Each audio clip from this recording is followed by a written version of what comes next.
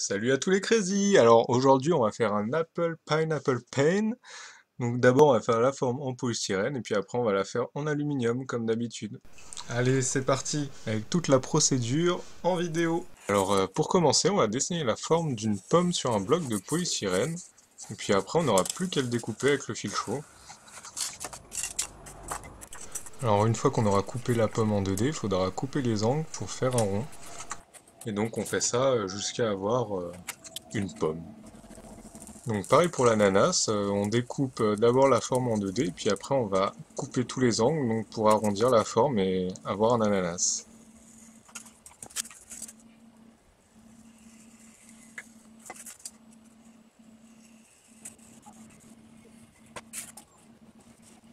Donc on attaque les feuilles avec toujours la même technique.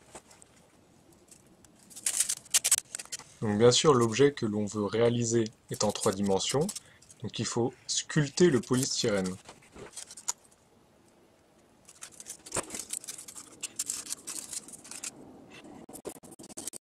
Ensuite, on ponce le tout pour que l'objet soit le plus lisse possible, et surtout pour que ça ressemble à une pomme et un ananas rond et pas carré.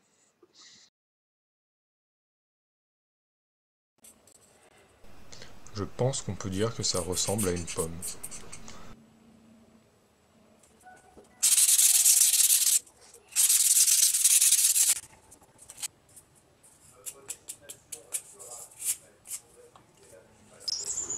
Maintenant qu'on a fini notre forme en on est parti pour le transformer en aluminium. Donc d'abord on va humidifier un petit peu le sable.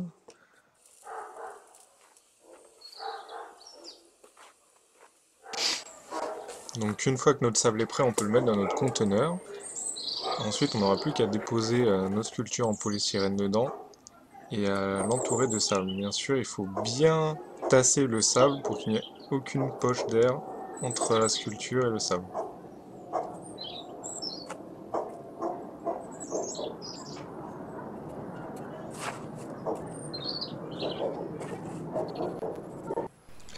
On tasse bien le sable, on fait une cheminée pour couler l'aluminium. Ici je vais faire aussi euh, trois cheminées, ça sera pour faire des tubes en aluminium que j'utiliserai plus tard.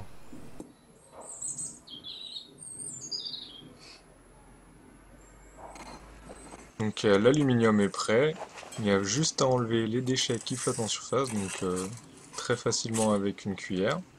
Et après il n'y aura plus qu'à couler l'aluminium dans la cheminée.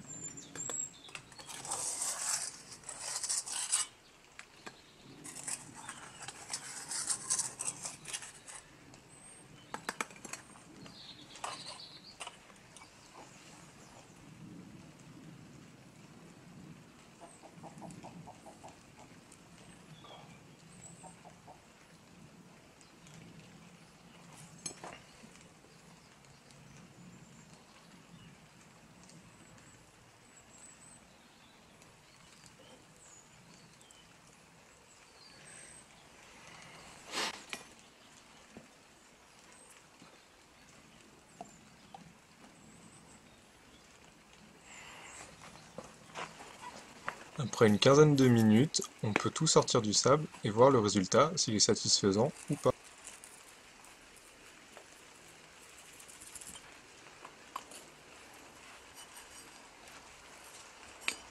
C'est parfait pour les tubes, maintenant reste à voir ce pourquoi nous sommes là.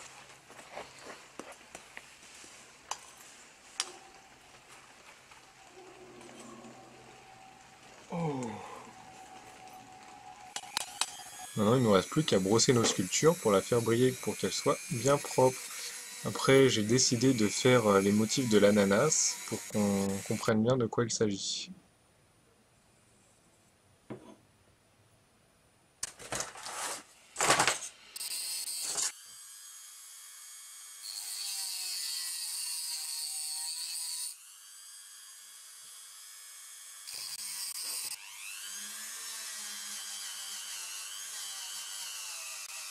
Au début, je voulais essayer la base, mais finalement, je me suis dit je vais la laisser, comme ça, notre sculpture peut tenir debout toute seule.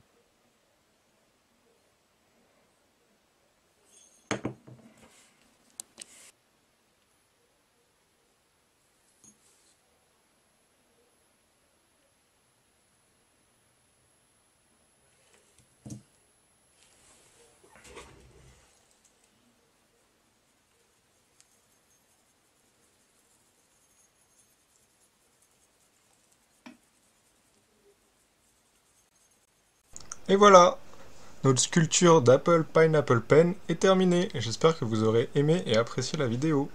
À la prochaine